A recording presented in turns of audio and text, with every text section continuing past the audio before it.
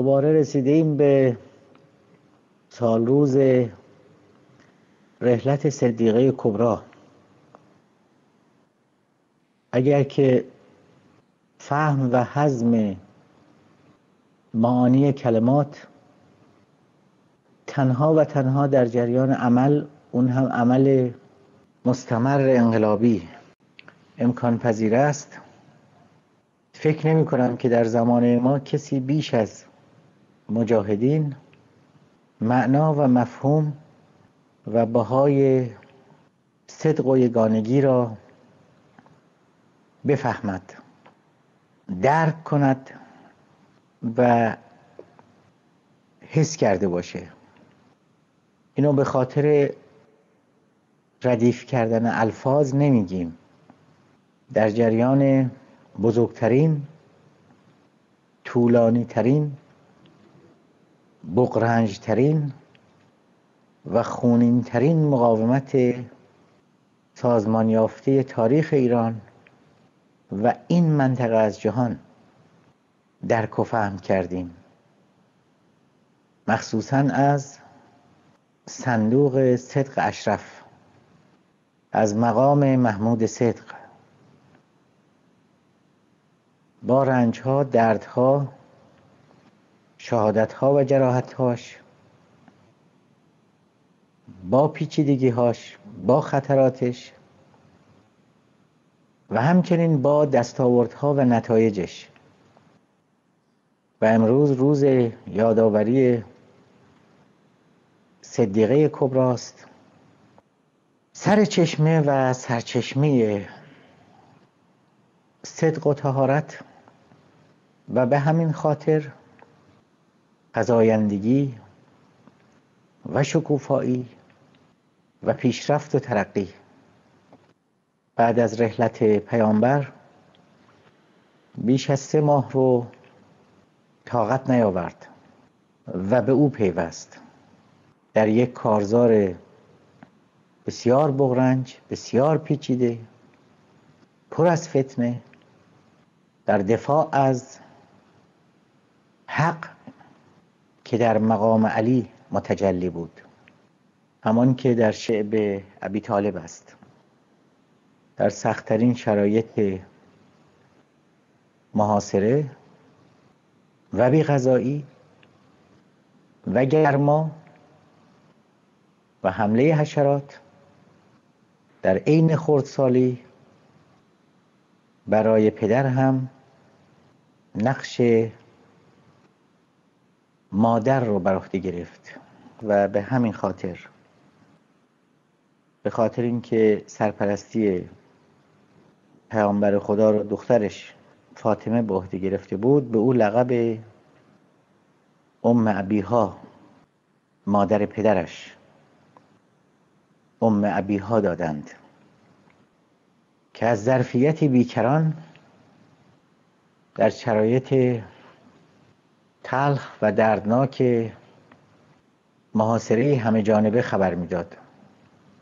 محاصره که دلیران و قهرمانان و پاکبازانی مثل حضرت علی گاه اون رو می شکافتند برای اینکه اندکی ارزاق برای جو برای نمردن از گرسنگی به دست بیاورند. نخستین شهید به معنای دقیق کلمه در صدر اسلام سمیه بود که البته با یاسر در یک روز در زیر شکنجه شکنجه مرتجعان و خمینی صفتان زمان شهید شدند. اما به لحاظ زمانبندی و توالی ابتدا سمیه پرواز کرد و به شهادت رسید و بعد یاسر. شگفتا که اولین ایمان آورنده هم خدیجه کبرا خدیجه کبیر. یک زن بود و وفات اون حضرت هم. یکی دو ماه بعد از شعب ابی طالب است. اما قبلش هم در شرایط معاصره ماههای آخر رو سپری می‌کرد. اون روز هم ارتجاع گمان می‌کرد که با برچسب زدن با محاصره با شکنجه و کشتار خواهد توانست که انقلاب نوپا رو متلاشی و منهدم و ریشکن می‌کنه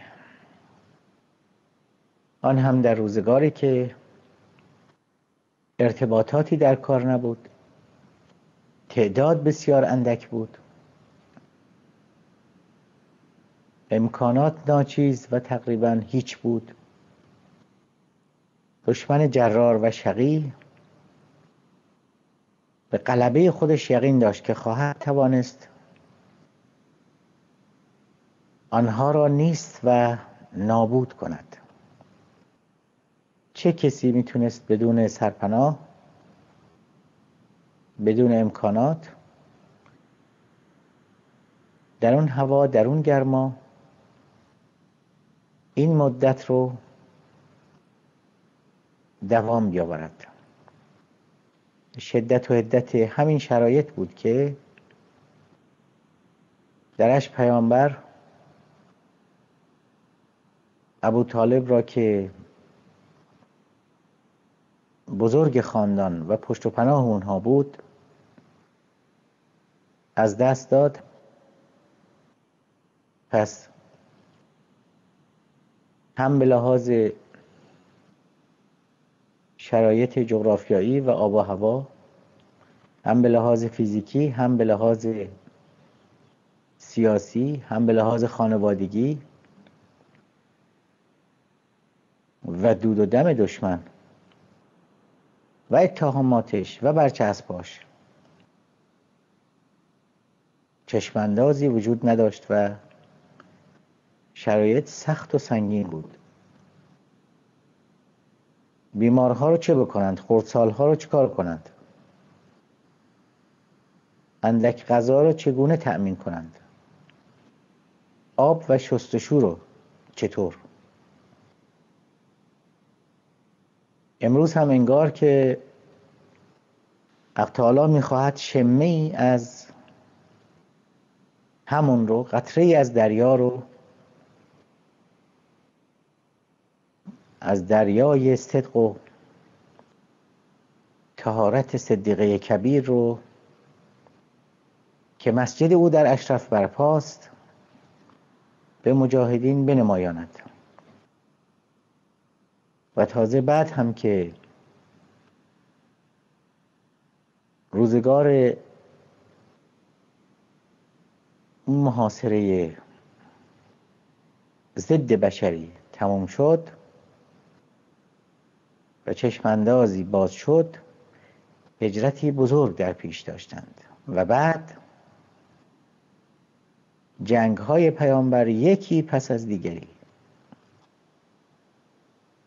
در مجموع هشتاد و چند فقره جنگ و درگیری. ارتباطاتی هم که در کار نبود. انعکاساتی هم در کار نبود. حمایت های داخلی و بین المللی هم در کار نبود. فقط به فقط باید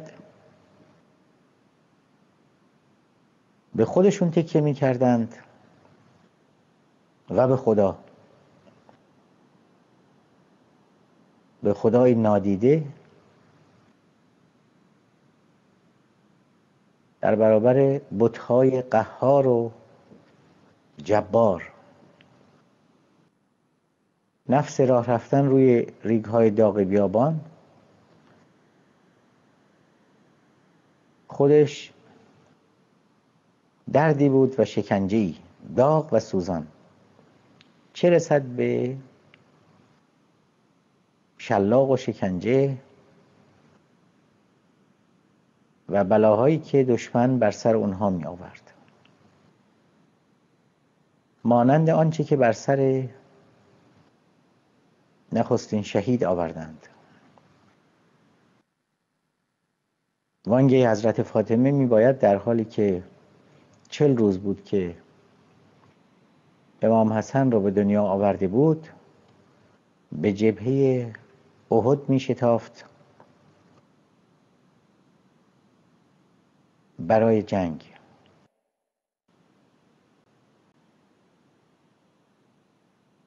و بعد هم جنگ های بعدی و بعدی. وقتی که از مقام محمود صدق صحبت می‌کنیم ردیف کردن واژه ها نیست. خیلی قبل از ما بزرگ مادر آرمانی ما صدیقه کبرا. سفید سفید و آری از هر تناقض. و آلودگی. اون رو متجلی کرده. مرتجعین زمان نیروهای سرکوبگر دوران دست گرفتند که اجاقش کور است و پسری ندارد. در اینجا دیگر خدا خندید و گفت انا اتینا کل کوسر سرچشمه فزونی و فزایندگی و رشد و تعالی رو به تو عطا کردیم. پس نماز بگذار نیایش کن و نهر و قربانی کن. قیمتش رو بده. در این صورت شک نکن که بدخواه تو و دشمن تو بی دنباله و بی آینده است. و پیروز خواهی شد. در شعب ابو طالب اگر که کسی می‌گفت چندی بعد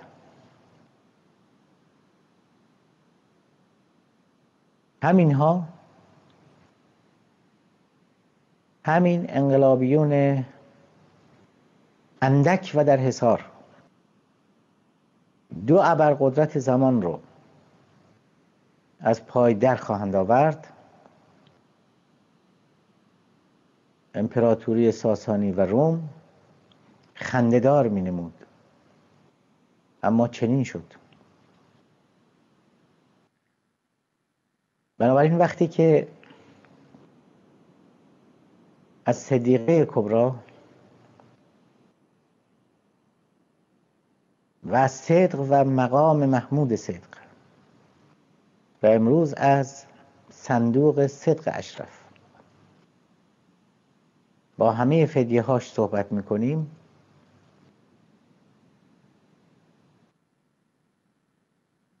ردیف کردن الفاظ و واژه ها نیست. درسی است آزمایش شده که